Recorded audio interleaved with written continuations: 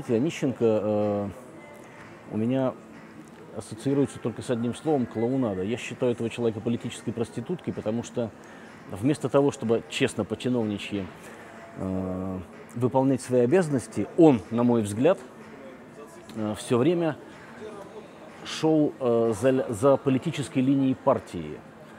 То есть, как только какие-то ветры сверху дули или генеральная линия колебалась в ту или иную сторону, в эту же сторону начинал колебаться и Онищенко. А уж его э, эта история, нашумевшая когда-то несколько лет назад с запретом вот этой вот незамерзайки э, на этиловом спирту, которая была бы дешевле для автомобилистов, она э, совершенно потрясающе и характеризует его опять-таки в плохом свете, потому что там он э, в одном из документов написал, что э, наш народ не культурен, наш народ быдло. Это не было написано, но это читалось за строчками, поэтому никакого уважения к этому человеку я не испытываю.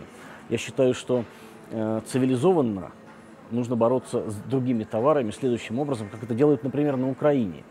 Там вешают на полку маленькую табличку «Покупайте украинское» там, или «Не покупайте российское». И покупатель уже сам решает, брать ему или не брать.